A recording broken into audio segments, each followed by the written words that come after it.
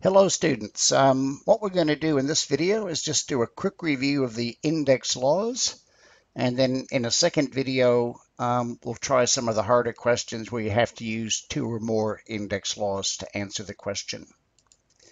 Okay, first question is 3 to the power of 5 multiplied by 3 to the power of 6. And the index law for multiplying powers with the same base is to add the indices. That becomes 3 to the power of 11.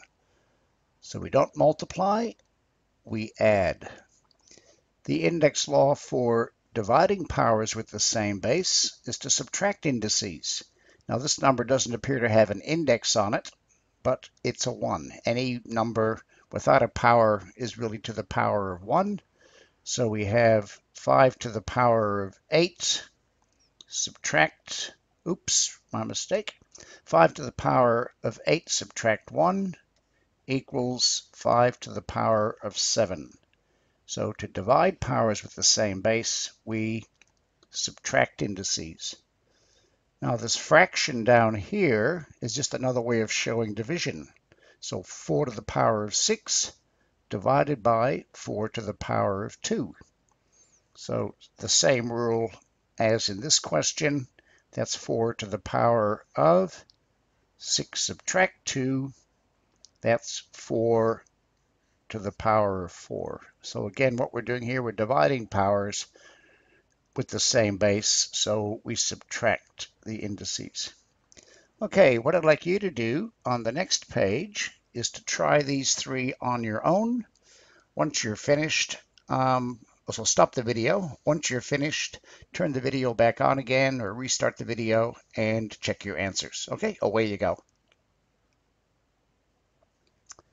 Okay, let's see how you went. Hopefully you did go away and uh, try them. That's how you learn mathematics, of course, is by doing it, not by watching somebody else do it. To multiply powers with the same base, add the indices. So that's 2 to the 6 plus 4, which is 2 to the power of 10. To divide powers with the same base, both have a base of 9. We subtract indices. So 9 to the 10 subtract 5, or 9 to the power of 5. And similarly, another way of showing divide is um, as a fraction, this number 3 has a power of 1, so I'll write that in.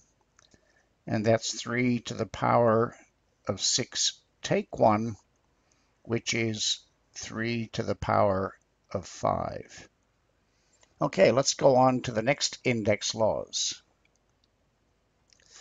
Okay, this one here, index law number 3, I've got a power, 3 to the power of 4, all raised to the power of 3.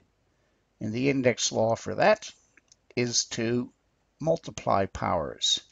So that's 4 times 3 equals 3 to the power of 12. So to raise a power to a power, multiply. The next index law you learned is when you got 3 times 4 in brackets, all to the power of 5. Now, when you're doing the index laws, we're not going to actually multiply those. We're going to just keep them as they are. And the index law says 3 by 4, all to the power of 5, is 3 to the power of 5 times 4 to the power of 5. And we just leave our answer in index form.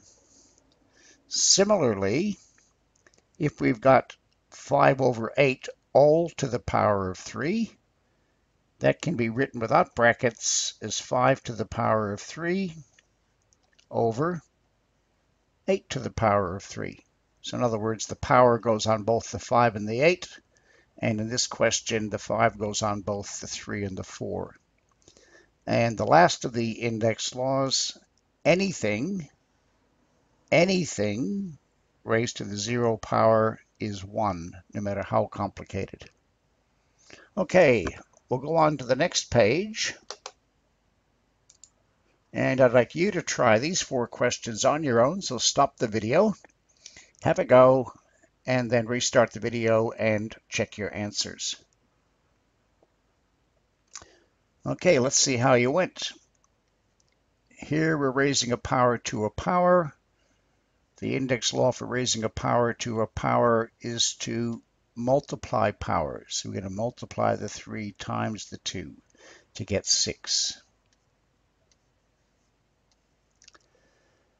If we've got a product, 18 times 21 raised to a power, we can write that without brackets by just putting the power on the 18 times and 21 raised to the same power. The third question, we've got all of 4 divides 7 to the power of 6. We can write that without brackets by putting 4 to the power of 6 over 7 to the power of 6.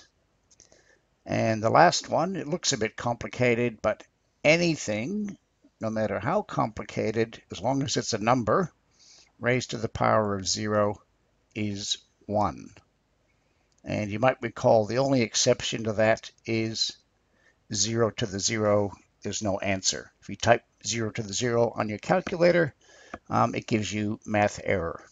Okay, we'll stop this video now, and then the next video we'll look at doing some more complicated questions that uses uh, two or more of these uh, index laws.